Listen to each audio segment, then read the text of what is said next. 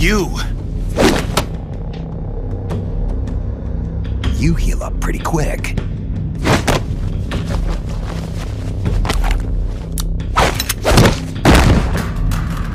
Quick thinker, too. They trained you well. You're a good soldier. Who... who are you? Call me Snake. Snake? Is that a code name? You must be with the Americans. Are you with the Fox unit too? I'm not with the Americans or with Fox. I'm just a soldier. Just a soldier. Then why? We're here to stop Fox Unit from going renegade. A member of Fox named Gene betrayed the US government and stole a top secret weapon. He plans to use that weapon and the warheads in this base as bargaining chips to negotiate with your country. But blackmail is more like it. We're here to put a stop to it.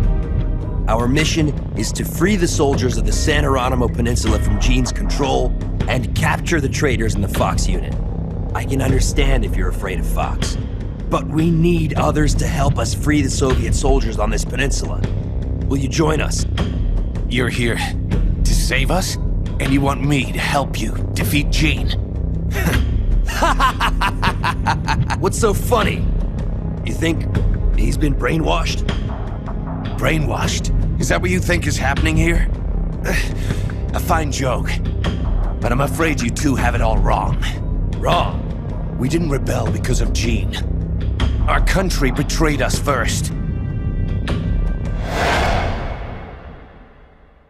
We have stood guard over this god-forsaken base, unable to reach our friends and loved ones because of the secrecy of our mission. The climate was brutal. The meals were meager. We watched as our comrades succumbed to disease or died fighting the Colombian government. And still, we went on carrying out our mission, believing our efforts were all for the good of the motherland. And how did the motherland reward us? By stabbing us in the back. You're talking about the Kremlin's policy shift.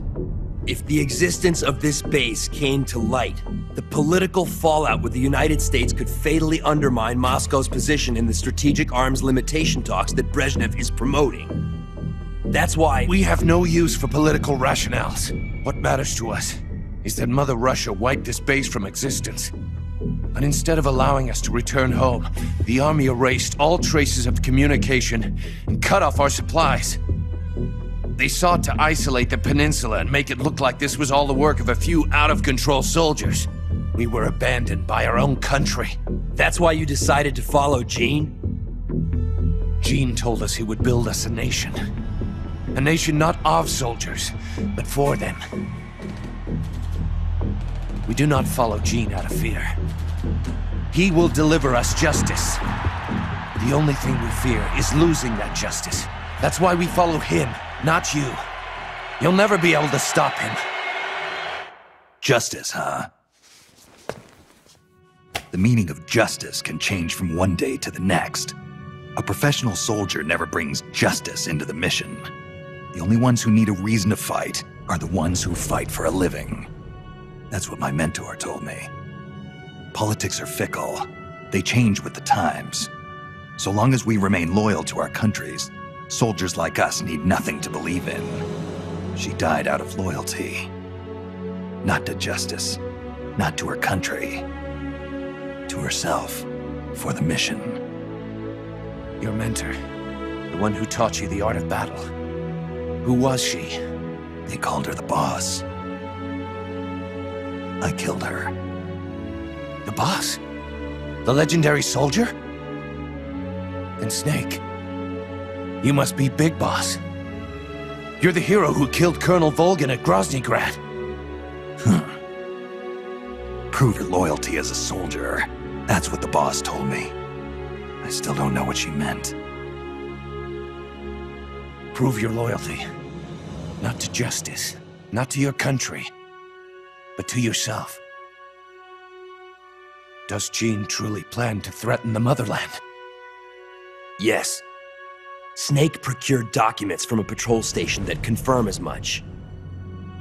If launched from this base, the weapon Gene stole could deliver a devastating blow to every major city in Russia. I know it's hard to believe. No. I believe you. Not as a member of the Red Army, but as a soldier. I appreciate it. I will follow you. Snake, give me my mission.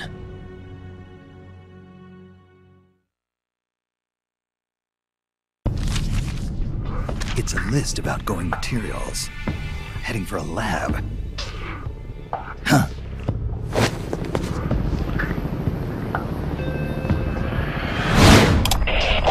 Where are the escapees? Why haven't they been caught? If they get away, I promise you'll regret it. Enough of this! Call Python.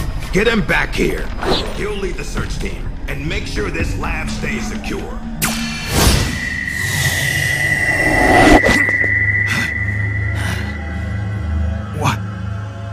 Happening to me? What's his status? We're currently reinitializing his memory and readjusting his sensory nerves in the culture tank. By my estimate, it'll take another 12 hours, at least. Half a day? He has to be readjusted after each deployment. Not much better than a prototype, a test subject. My apologies, sir. The culture fluid takes time to prepare. With such limited equipment and personnel, readjusting Null isn't. I know. That's why I brought along a specialist. Chief? But The escaped prisoners have yet to be found.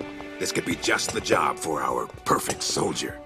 We'll roll out the tank as soon as the fluid's stabilized. Make all necessary preparations. yes, sir.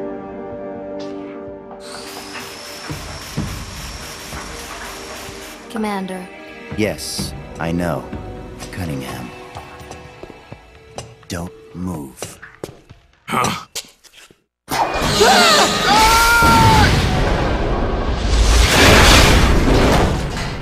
Commander! Lieutenant! Are you alright? We're fine. Please forgive me, Commander. Are you hurt? Don't worry. Fate would never see me hurt. Now, lie still and try not to move. This man needs medical attention. I apologize for any sense of urgency. Please don't think for even a moment that I hold your work, or yourselves, in any but the highest of regards. This facility you are helping to build is absolutely vital to the strong roots of our new nation. But never forget that you, yourselves, are no less valuable a resource to that nation. A nation that will house the mightiest, most capable military ever seen by man. Warriors in their prime. We will end an era that sees soldiers discarded like tools and strike war from the menu of global politics. And it is you, soldiers, military engineers, who are her first citizens. Our nation's riches and its fighting spirit. I only pray that such priceless resources need not be sacrificed in vain.